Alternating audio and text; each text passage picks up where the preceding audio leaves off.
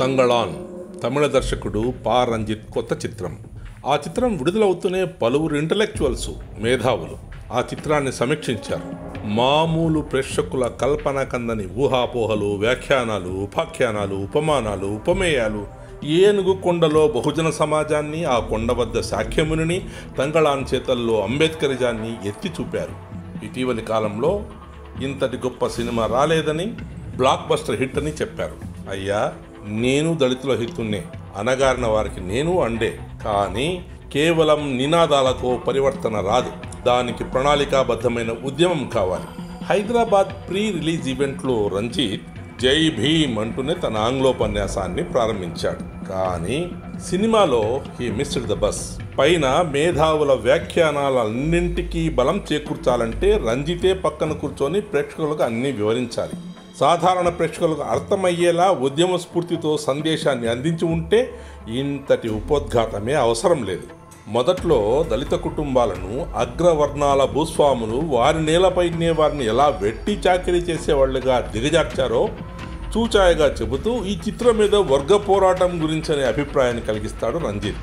కానీ మలుపు తిప్పి ఇంగ్లీష్ వాడికి మద్దతుగా ఆనెమలై ఏనుగుకొండ వద్ద బంగారు గని తవ్వడానికి తన ఊరి వారినందరినీ తంగళాన్ని తీసుకెళ్ళడంతో ఆ కోణమే కనుమరుగవుతుంది. తక్కువ కులాల పంటలను దొంగచాటుగా కాల్పించి తన ఊరి కూలీలు ఊరి విడిచి వెళ్ళిపోతుంటే అడ్డుకోలేని భూస్వామి ఎంత బలహీనుడా అనిపిస్తుంది. దర్శకుడు చివారిన ఇదేదో కోలార్ గోల్డ్ ఫీల్డ్స్ కేజీఎఫ్ చరిత్రని మనం భావించేలా ప్రయత్నించినా కేజీఎఫ్ చరిత్రకు నాంది పలికిన లావెల్లే వ్యారెన్ జాన్ టేలర్లకు సినిమాలో చూపిన క్లెమెంట్కు ఎటువంటి సంబంధం ఉన్నట్లు ఎక్కడా ఎస్టాబ్లిష్ చేయలేదు. ఏవో భూతాలు దెయ్యాలు ఆ బంగారు వనరులకు కాపలాగా ఉన్నాయని చెబుతూ ఇలాంటి నమ్మకాలకు ఎటువంటి సంబంధము లేని బుద్ధినిలాగా ఉండే ఓ విగ్రహం అక్కడ చూపించడం అసంగతంగా అనిపించింది. అంతేకాదు ఆంగ్లేయులు మన దేశానికి వచ్చేటప్పటికే బౌద్ధం మన దేశాన్ని ఉండే దాదాపు అంతర్ధానమైంది.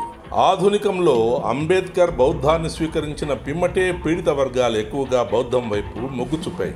మొదట్లో వచ్చే భూస్వామి కానీ తర్వాతి క్లెమెంట్ కానీ అప్పుడప్పుడు వచ్చి వెళ్ళే కన్నడం మాట్లాడే దళాలి క్యారెక్టర్ కానీ అన్నీ స్కెచ్గా అగుపిస్తాయి.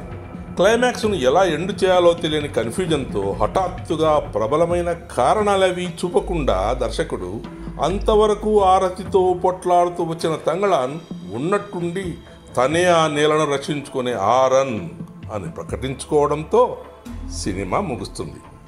ఏదో సెక్వెల్ కోసం ఎదురు చూడేమో మలుపు తిప్పినట్లు అనిపించింది తప్ప సరిగ్గా అతకలేదు. ట్రీట్మెంట్ స్లో అయినప్పుడల్లా విజువల్గా ఎలివేట్ చేయడానికి దర్శకుడు సూపర్ స్టిషన్ను అతీత శక్తులను పాములను రిపిటేటివ్గా యూజ్ చేయడం వల్ల థ్రిల్ పేస్ తగ్గాయి. స్క్రిప్టులో కన్సిస్టెన్సీ లేదు. చెవుల తుప్పులు వదిలించే స్కోర్ కూడా చిత్రాన్ని కాపాడలేకపోయింది. మన పక్షపాత సిద్ధాంతాలు వదిలేసి సాధారణ ప్రేక్షకుల్లాగా వారు ఓ సినిమాలాగా వాళ్ళు చూసినప్పుడు వాళ్ళకి కావాల్సింది దొరకలేదు ఉద్యమ స్ఫూర్తి కలగలేదు. అతి వ్యయ ప్రయాసల కూర్చి నిర్మించిన ఈ చిత్రం మొత్తం మీద నిరాశనే మిగిల్చింది. అందుకే దాదాపు నూట ఇరవై కోట్ల ఈ చిత్రానికి మొదటి పది రోజుల్లో వెరసి మొత్తం వసూళ్ళు అరవై నాలుగు కోట్లే. పేపర్ వర్క్ పకడ్బందీగా ఉంటే బహుశా ఇంతకంటే మంచి ఫలితాలను ఆశించి ఉండవచ్చు. జయాపజయాలు పక్కన పెడితే కూడా పా రంజిత్ నుండి రావాల్సిన చిత్రం కాదిది.